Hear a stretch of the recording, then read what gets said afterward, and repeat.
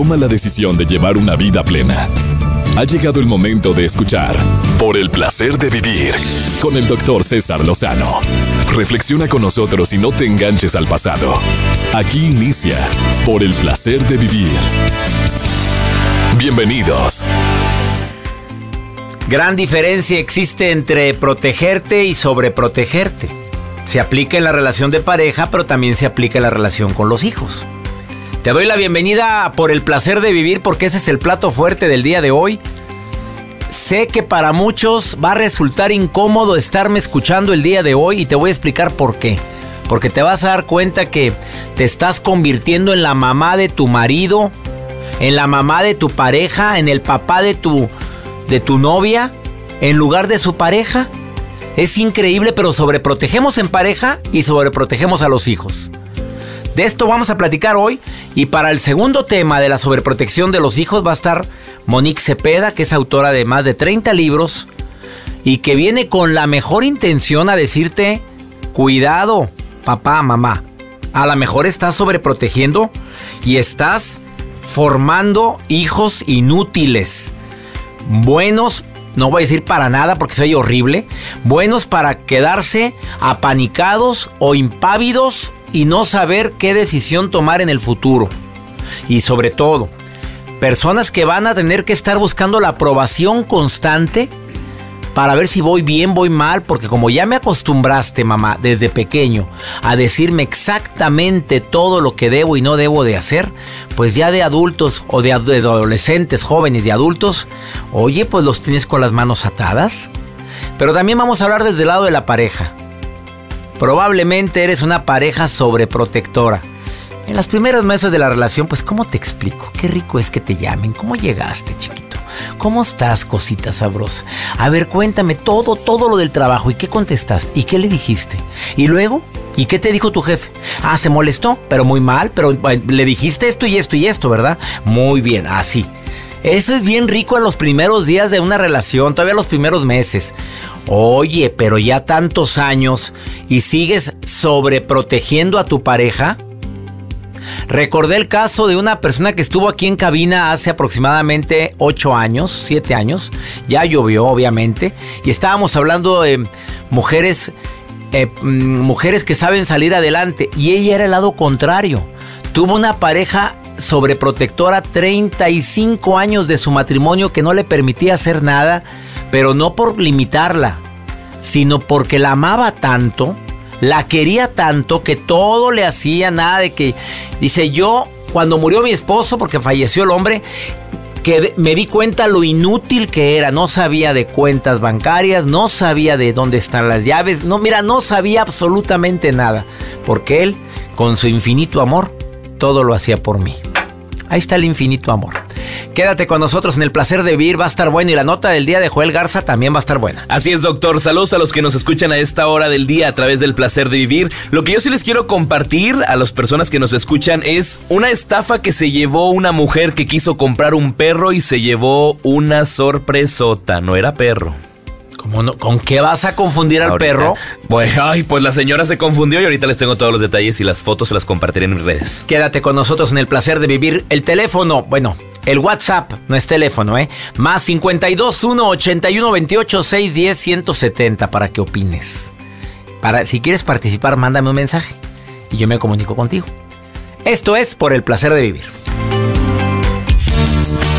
Recuerda que no es lo que te pasa lo que te afecta es cómo reaccionas a lo que te pasa. Continúa escuchando por el placer de vivir con el doctor César Lozano. Mensajes positivos, frases matonas y mucho más. En Twitter, arroba DR César Lozano.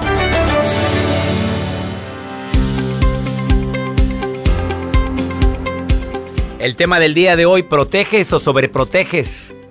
Al ratito hablamos de los hijos. Te voy a decir claramente cómo darte cuenta cuando estás sobreprotegiendo a tus hijos. Te lo voy a decir al ratito. También viene Monique Cepeda, experta en el tema.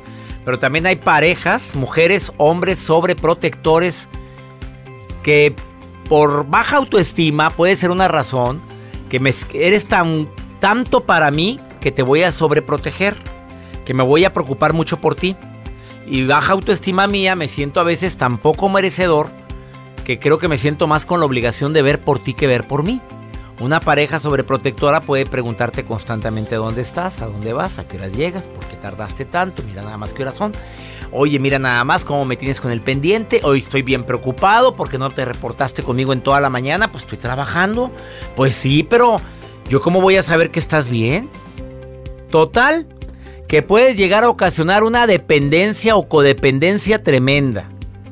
Al ratito también puede agravarse la situación que lo puedes llegar a asfixiar, a tosigar. Y en lugar de tener una pareja, pues tiene una mamá, otro, otra mamá, otro papá porque los cuidas igualito como si fuera un hijo. Y todavía si le agregas el adjetivo, hola mami, hola papi, ¿cómo estás? Bien mami, ¿y tú? Con mucho respeto para los que se dicen papi, mami, pero han venido múltiples terapeutas aquí que me han dicho cuando hablamos de este tema que no le andes diciendo mami o papi a tu pareja porque pues se empieza a convertir en tu mamá o en tu papá. A ver, no se me emperre. Usted que me va oyendo en su automóvil, no se me enoje. Yo sé que no, se aplica en todos, pero esto lo han dicho los terapeutas que han venido. No es de mi cosecha.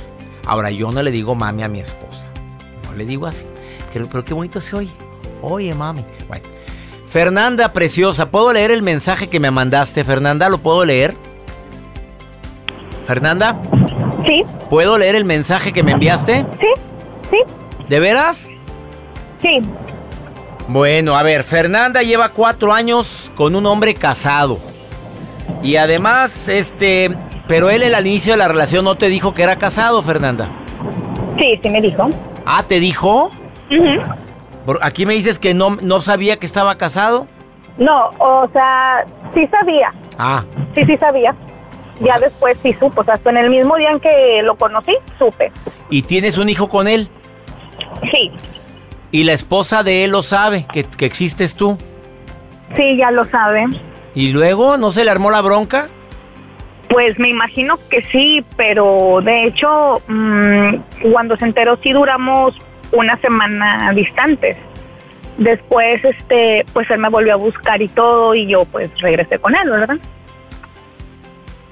¿Y él, ¿Y él no se ha divorciado? No, no. No, y creo que sí es muy difícil que lo haga porque pues como ya tienen mucho tiempo ellos, ¿verdad? Y nunca me ha dicho que, que tienen problemas, eso jamás. Siempre me ha dicho que se sobrellevan, ¿verdad? Que ya pues son los años. Mm, la quiere porque pues yo creo que es la madre de, de sus hijos, ¿verdad? Pero pues tampoco yo le comento a él que me, que me diga, ¿verdad? Si vamos a seguir así o un tiempo, que me dé tiempo, pero no, pues hasta ahorita no. ¿Y cuál es tu postura, Fer? ¿Cuál es la tuya? ¿Tú prefieres seguir así? ¿Estás a gusto en esa relación? Sí, lo quiero mucho, lo quiero mucho. Mm, fue algo desde que yo, mm, bueno, yo hace yo fui casada, este, ahorita soy divorciada. Nunca tuve ni una pareja más que él. Yo me pasé nueve años sola, este, con mis hijas nada más, y, y fue como algo, algo que se dio, algo muy, pues muy bonito la verdad. Nunca pensé, este, conocer a alguien como él.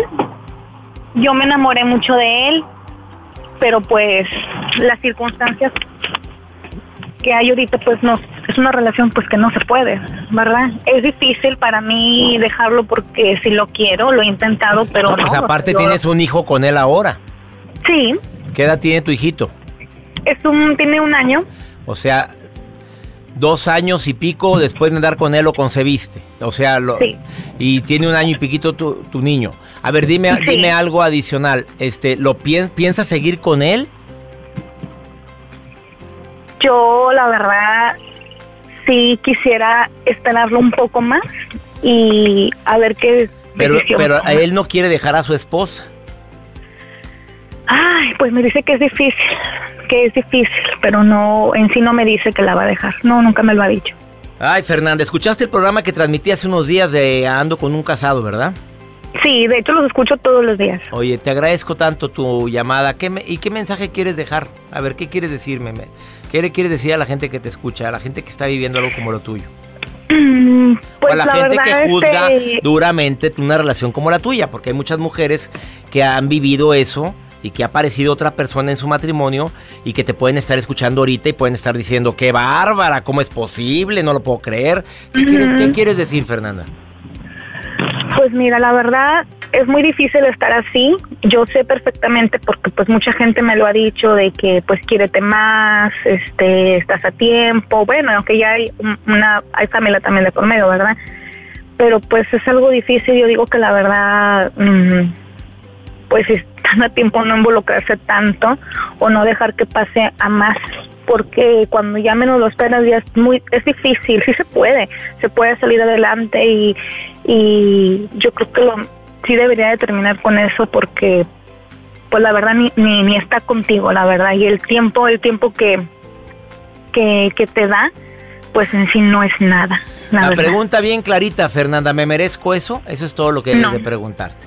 Te mando un beso, Fer. Gracias por tu mensaje y gracias por escucharnos todos los días, querida Fernanda. Gracias. Te mando un beso, gracias. Ups, ¿qué opinas? A ver, me gustaría tu opinión. Ándale, mándamelo por WhatsApp. Más 521 8128 610 170. Me quedé sin palabras. Ahorita vuelvo.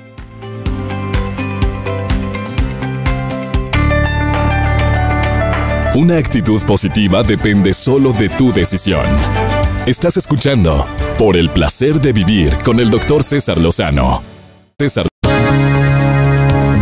En esta vida, hashtag todo pasa. Sigue escuchando Por el placer de vivir con César Lozano. Hablando también de la sobreprotección en los hijos, Proteger es construir un hogar en el que nuestros hijos sepan que es peligroso y que no es peligroso, se les explica. Sobreproteger es eliminar todo lo que potencialmente sea peligroso y es más, no pongo ninguna figurita ni pongo nada porque el niño todo tumba. Bueno, estoy de acuerdo que no debe haber cosas en la edad donde el niño empieza a redescubrir, pero eh, meterle miedo, eso ya es sobreprotección. No, no, porque pica. No, no. Ahí viene el cuco. Ahí viene. ¿Quién es el cuco, por cierto? Bueno, proteger es confiar y mostrar confianza en que mis hijos son capaces de tomar decisiones. Y más cuando el niño tiene cierta edad. Estamos hablando de etapa escolar y etapa de la adolescencia. Pero sobreproteger es desconfiar. Y por lo tanto yo tomo decisiones por él, porque como él está muy chico, porque yo ya soy grande, yo ya sé qué es lo mejor para él. Proteger es estar presente, es estar presente en la vida de nuestros hijos. Les doy apoyo cuando hay una adversidad. Pero sobreproteger es estar omnipresentes en la vida de nuestros hijos.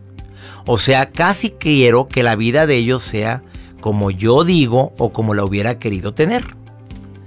Proteger es enseñar a que tiene que responsabilizarse por sus tareas, tanto de la escuela como de la casa, pero sobreproteger es yo se las hago. Porque mi hijito, pues, no, la maestra, de veras, ¿está tonta o qué tiene? ¿O es una inconsciente por pedirle tanto a mi hijo o a mi hija? Yo te ayudo, mijito. Yo lo investigo, yo lo busco en el internet mientras tú. Mira, duérmete un ratito. Proteger es acompañar, enseñar cómo hacer. Sobreproteger es anular la personalidad que tienen para que estén más tranquilos. Me expliqué la gran diferencia entre proteger y sobreproteger. Y en un bebito, pues sobreproteger lo asustas por todo. Sin, en lugar de explicar las cosas como son. Gran diferencia, ¿no crees tú? Pues cambié la nota del día para el bloque 3, Joel, porque ya es la llamada que recibimos. ¿Qué piensas? De Fernanda. Fernanda. Anda con un casado. Yo te estoy pensando en eso pues muy sobreprotegido el hombre, dos mujercitas para que lo protejan al Señor. No, no, no. Y como en su casa no lo entiende su esposa, pues él buscó otra que lo entendiera. Pero ahí tuvo otro hijito y la señora sabe, fíjate. Pero la que está llevando las consecuencias es Fernanda. Pues sí, pero la, esposa sabe. ¿Y qué ah. dijo? Pues bueno, ahí lo, aquí lo tengo. Sigue conmigo. ¿Hasta qué grado? Bueno, dame tu nota mejor. Mejor les comparto mi nota. Como les comentaba al inicio de este espacio, una mujer, doctor, se hizo viral en internet luego de ser estafada, aunque ella creyó que había comprado un perro inglés unas mascotas muy bonitas de color blanco, bueno, de diferentes colores, pero ella aseguraba que era un perro inglés y no. ¿Qué era? Recibió una oveja. No se dio cuenta. Y no yo el... El me, no. ¿Cómo no se el- le llama el me? el, ¿Qué será? El- Pues no sé, mientras me sigues dando la nota yo lo Bueno, busco esa porque- mujer se hizo viral, doctor. Ella creyó haber comprado un perro inglés por internet y recibió esta oveja. En redes sociales se dio a conocer esta historia y la mujer se realizó, que realizó esta compra a través en internet. Las cosas pues no resultaron como ella lo había planeado. La historia que circula en Facebook y se los voy a compartir es un video en un programa de televisión. Y bueno, pues comparten la historia de esta mujer donde le vendieron una oveja por un perro. Le cortaron el cabello a la oveja muy chiquita y co- hacen las comparaciones de un perro inglés con la oveja y es muy similar. Obviamente cuando camina... ¿Tienes ahí la foto? Sí, está la fotografía y se A las voy si a verá. compartir en redes sociales. Es un O sea, la señora compró una oveja. Sí, Es un perro inglés y los perros ingleses son muy caros. son muy caros, sí, claro. A ver, la, se llama balido. El balido. El a Las ovejas balan. Las ovejas balan. No, no, ¿qué ibas a decir? Maullido, pero son los gatos. Bueno, se llama balido, Joel. Este, Le hacían me. me. Bueno, mismo que le da miau. A ver, eh, pues la señora le vieron la cara y le vendieron Sí. la oveja creyendo que era un perro inglés. Se fue con la pinta. Pues que aguarde la oveja ahí. Pues sí, obviamente la Pues que haga tiene. un borrego a la griega muy sabroso, pues, muy rico. Les voy a compartir la fotografía en arroba Joel Garza guion bajo, ese es el Instagram para que lo vean. Y el video que circula en redes sociales de esta mujer, pues, ¿Y cuánto pagó? pues sí pagó una buena lana. Eh, se habla, bueno, bueno, según son- fueron euros, se habla de 800 euros. Aquí la información que Por una oveja. por una oveja. La Y estafaron bien y Gracias. Gracias. Doc. Vamos a una pausa. Ya está preparada Monique Cepeda para hablar de este tema de sobreprotección. Oye, ¿sobreproteges a tus hijos o los cuidas? A ver, ¿los amas o los sobreproteges? Porque la gente confunde la sobreprotección con un amor inmenso a mis hijos. Quédate con nosotros. Estás en el placer de vivir. El amor no se hizo para suplicar. Valórate y exige lo que mereces. Escuchas por el placer de vivir con César Lozano.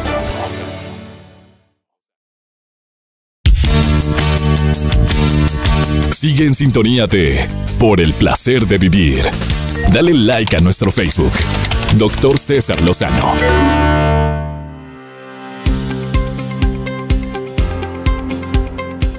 ¿Hasta dónde sobreproteger a nuestros hijos?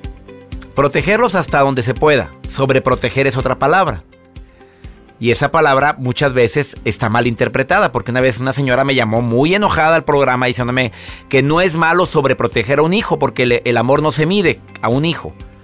Monique Cepeda, psicoterapeuta especializada en niños y en adolescentes. Eh, autora de múltiples libros. ¿Cuántos libros, Monique, llevas publicados hasta el Hola, momento? mi querido doctor, qué gusto escucharte y estar contigo. Este, ya tengo 32, querido doctor. Oye, Estoy tan querido, contenta. 32 libros. Para niños, Es recuerda. Para niños, yo sé, hermosa, pero me asombra. La última vez que hablé contigo eran veintitantos, ahora 32. Sí, ¿verdad? Ajá. Monique, ¿hasta dónde? Mira, yo recibí una crítica hace unos días Sí. de una mujer que llamó al programa muy enojada que porque yo dije que era malo sobreproteger a los hijos. Y- Claro. pero el, el término de sobreproteger, ella decía que el amor hacia un hijo no se mide. ¿Qué, Ujú. Qué le contestamos a ella, Monique? Yo le dije Fíjate mi que- respuesta, pero quisiera que tú como, como profesional en el tema de autoayuda de niños, pues que me digas qué es lo que podrías contestarle. Es que fíjate, creo que tiene que quedar clarísimo como papás, como madres y padres, que sobreproteger manda un mensaje al niño que le dice, no te creo capaz. Así que es un mensaje contraproducente co- si hablamos de amor, ¿no? O de entrega. Si yo le abrocho el la agujeta a mi hijo porque, este, pues porque soy impaciente, el mensaje que él está recibiendo es, yo no te creo capaz de hacerlo, ¿no? Entonces la sobreprotección se traduce en un mensaje interno en el niño donde no me atrevo, no me supero, eh, no ni me conviene esforzarme, porque así tengo como justamente, ¿no? A mi mamá a mis rodillas, O no me siento capaz porque mi mamá dice que no puedo, obviamente. o Que... no me siento capaz, y entonces eh, hay una lesión a la autoestima. La sobreprotección se traduce en baja autoestima. Entonces, eh, yo estoy de acuerdo que el amor a los hijos no se mide, pero justamente porque no se mide, entonces siempre hay que promover la capacidad, animar a los niños a que sí lo van a poder hacer, eh, esperarme un poquito a que él lo logre. Em, ya saben, a veces lo hacemos en lugar de ellos porque o estoy en una situación social que me avergüenza, ¿cómo va a ver mi comadre que mi hijo todavía no, yo qué sé, ¿no? No se abrocha el zapato, no parte la carne, lo que sea. Y entonces... A ver, Mónica, vámonos con ejemplos prácticos para que la gente que me va escuchando en este momento, me está escuchando, pueda identificarse si está haciendo a sus hijos, a sus hijos incapaz o incapaces de enfrentarse al mundo. Dime ejemplos de una sobreprotección, pero lo más claro y lo más, lo más común que ves tú en terapia. Sí, eh, por ejemplo, eh, uno clarísimo, eh, hacerle la tarea al niño, porque la verdad es que pobrecitos niños tan chiquitos y con tarea, no sabes cuánto moviste el avispero ahorita. Mira, las señoras ahorita hasta tienen, eh, tienen WhatsApp de todas las madres o ah. todas las mamás de las escuelas para ver qué les encargaron a sus criaturitas. Exacto. Bueno, ese es uno, un ejemplo. Pero mira, creo que la imagen más clara es esta. Cuando uno de nuestros hijos aprende a caminar, ¿te acuerdan de ese momento eh, emocionantísimo de los primeros pasos? ¿Qué hacemos como papás? Estamos atrás de él, dejando lo que dé sus pasos tambaleantes, pero listos para cacharlo, ¿cierto? Cierto. Eso es acompañar. Si lo sobreprotegemos, les decimos, no, no, mejor que no camine porque se me va a caer. ¿Ok? Entonces, ¿qué necesitamos para eh, criar hijos seguros y no sobreprotegidos? Animarlos a probar, acompañarlos con cercanía, felicitar todos los intentos cuando ellos están por probarse algo a sí mismos. Oye, te felicito que quisiste em, cerrar el bote de mermelada. Se te cayó toda, pero tú trataste de cerrarlo, ¿no? Sí. Te felicito por el intento. Siempre cuidar nuestra impaciencia, porque esa tiene un ingrediente importante en la, en la sobreprotección, ¿no? Eh, a veces nos desesperamos y queremos que las cosas las hagan rapidito y las hagan como si fuéramos adultos pequeños, pero no es así. Ponme otro ejemplo más común de sobreprotección ahorita. Ahí te va uno que me acaba de suceder. Una niña de seis años, muy tímida, con mucha, con poca herramienta social, eh, viene a la entrevista y entonces pues le pregunto a la niña, oye, ¿cómo te llamas? Y me dice con una vocecita chiquitita su nombre, así casi no se oía. Y entonces la mamá contesta, María Estefanía de la Luz, ¿no? Y cuando le pregunto a la niña, ¿qué te gusta jugar? Pues es que ella casi nunca juega con rompecabezas, contesta la mamá, ¿no? Entonces, este es un ejemplo de... Le pones las respuestas en la boca de tus hijos. Exactamente. Monique Cepeda, bueno, después de todo lo que acabas de decir, ¿qué le recomiendas a la gente que ha cometido, pues no quiero decir el error, la costumbre de sobreproteger a un hijo? ¿Qué le quieres decir, Mónica? Ok, tomemos conciencia, ahora vamos a animar. ¿Cuál es el acto de amor que le podemos dar a nuestros hijos? Hacerlos capaces de enfrentar la vida, con nosotros o sin nosotros, pero la idea es que sean autónomos. Ese es el regalo que les damos a nuestros hijos, que puedan ser autónomos. Entonces, lo animamos, lo acompañamos, es muy importante la cercanía, es decir, ser autónomo, autónomo no quiere decir ahí te ves y luego me platicas, mijito. No, quiere decir que te voy a acompañar a que tú puedas lograr cada una de las etapas que te tocan en tu desarrollo. Pero yo voy a estar cerquita, enterándome, ¿ok? Y siempre felicitar por todos los intentos de autonomía. Claro. Querida Monique Cepeda, la gente que tenga alguna duda y quiera consultarte a distancia, ¿puedes decirme dónde encontrarte en Facebook o en Instagram? ¿Cuáles? En Facebook, en Instagram, estoy como Monique Cepeda, en mi página moniquecepeda.com van a encontrar todas las ligas a mis redes. Te agradezco mucho que hayas estado nuevamente en el placer de vivir, querida Monique. El gusto es mío, querido doctor. Saludos. Bendiciones y felicidades por tus ya treinta y tantos libros y próximamente cuarenta y tantos. ojalá, ojalá. Hasta pronto, querida Monique. Gracias. Ha sido más claro. Una pausa, no te vayas. ¿Cuántas mamás están sobreprotegiendo y haciendo a sus hijos atenidos?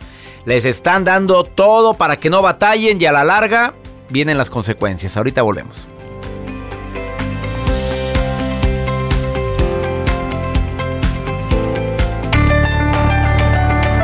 Una actitud positiva depende solo de tu decisión. Estás escuchando Por el placer de vivir con el doctor César Lozano. Creer que todo es posible es hacerlo posible.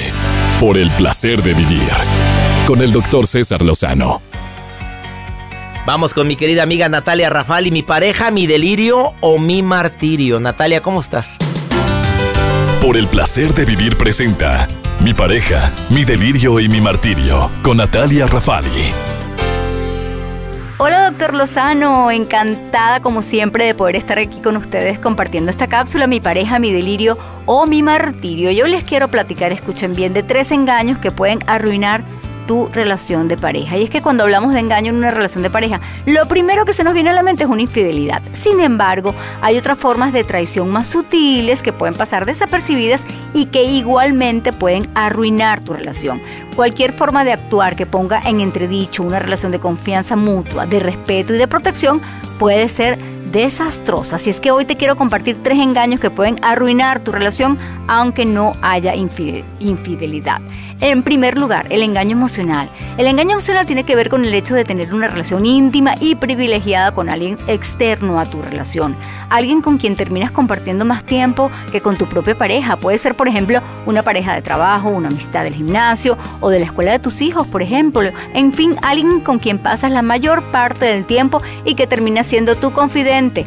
Evidentemente que la amistad no es una amenaza para tu relación, pero si acabas compartiendo detalles íntimos o cosas que sabes que a tu pareja no le gustaría que compartieras, pues entonces te estás pasando de la raya. Así es que ten cuidado, es momento de detenerte para evitar arruinar tu relación. En segundo lugar, otro engaño que es importantísimo que tomes en cuenta es la falta de compromiso. Tiene que ver con la sensación de que no cuentas con el apoyo de tu pareja o crees que tiene un pie afuera de la relación. También puedes reconocer la falta de compromiso cuando tu pareja no se ilusiona con los planes futuros, por ejemplo, que tienen. Esto puede indicar que tu pareja seguramente tiene dudas de continuar en la relación. Y en tercer lugar, cuando tu pareja te falla. El último de los engaños que puede acabar con tu relación son esas situaciones en las que tu pareja te falla. Esto puede ser desde pequeñas decepciones cuando necesitas de su apoyo y no aparece hasta grandes decepciones cuando prefiere ir a una reunión de trabajo en lugar de acompañarte a un entierro familiar o como por ejemplo cuando te operan de emergencia o tienes alguna emergencia de salud y tiene mil cosas más que hacer antes de estar a tu lado. En una relación comprometida ambos tienen que estar ahí cuando se necesitan. Esto significa compartir pequeños contratiempos, alegrías y éxitos o situaciones dolorosas. Así te sentirás amado, protegido y muy apoyado. Así es que ten en cuenta estos tres engaños que pueden arruinar tu relación y no necesariamente implican una infidelidad. Cuidado con ellos. De esta forma me despido diciéndote que en mis redes sociales me puedes contactar a través de Instagram y de Facebook como Natalia Rafali con doble F y doble L. Si te quiere bonito, cuídate mucho y por supuesto valora tu relación de pareja. Gracias Natalia, muchas gracias por tu segmento. Y ya nos vamos, mi gente en la República Mexicana, en el Valle de Texas, como siempre muy contento de compartir con ustedes este programa. Me siento bendecido y agradecido con mi Dios, el que me permite tener un micrófono frente a mí para poder compartir estos temas que siempre deseo que sean amenos, divertidos y hasta constructivos. Y ya nos vamos, amigas, amigos de la República Mexicana que me escuchan a través de MBS y estaciones hermanas. Les saludo con todo mi aprecio donde quiera que se encuentren. Voy a estar en Uruapan este día 27 y en Cancún el 29 de marzo. No te enganches, todo pasa a la más divertida, amena y constructiva conferencia de un servidor. Que mi Dios bendiga tus pasos, Él bendice tus decisiones, el problema no es lo que te pasa. El problema es cómo reaccionas a eso que te pasa. Ánimo, hasta la próxima. Por hoy concluimos, por el placer de vivir con el doctor César Lozano. No te enganches, todo pasa. Escúchanos en la próxima emisión con más mensajes de optimismo.